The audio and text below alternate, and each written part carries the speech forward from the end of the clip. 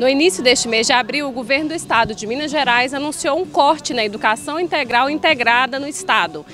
Em Caratinga, a Superintendência de Ensino reuniu a imprensa para falar sobre essa redução. De 29 escolas que eram contempladas, passaram apenas 12.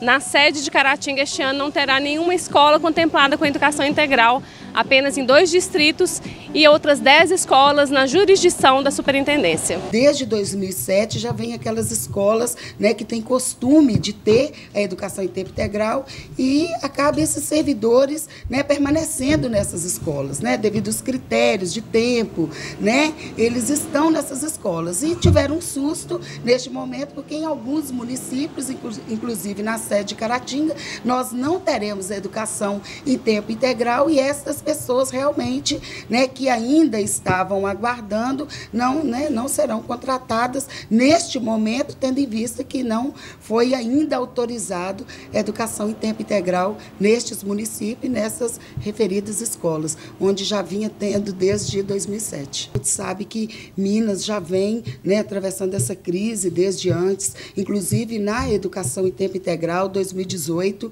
apesar da gente ter 60, quase 60 turmas e 29 escolas, a gente já veio sentindo esta crise, né?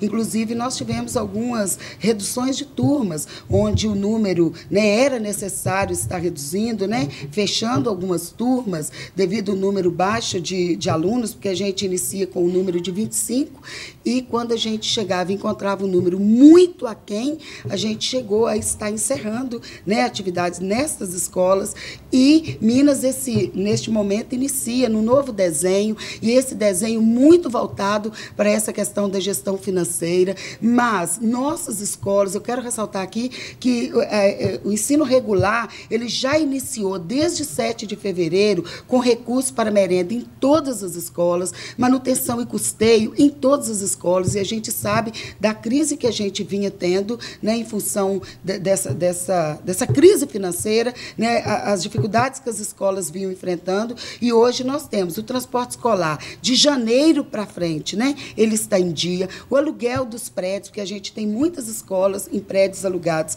né? É, já está neste ano, neste ano, de janeiro para frente, ele está em dia. A merenda, tanto do governo federal quanto do estadual, está caindo rigorosamente no início do mês em todas as escolas, desde fevereiro, né?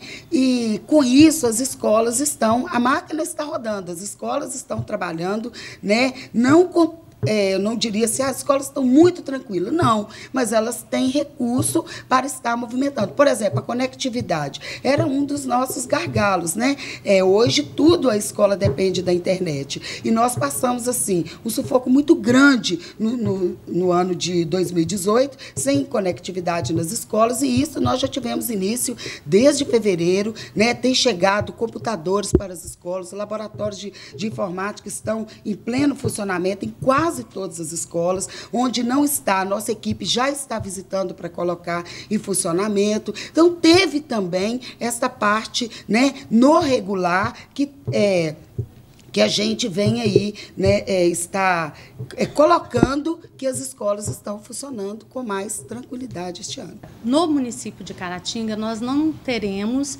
é, educação integral integrada na Escola Estadual Dom Carloto que é a escola, né, que desde 2007 né, permanece e participa da educação integral e integrada, é, ainda quando era PROET. Então, ela aderiu, mas não foi contemplada neste ano.